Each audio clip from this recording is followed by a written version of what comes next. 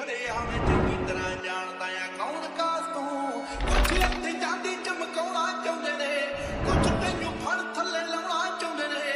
ਕੁਝ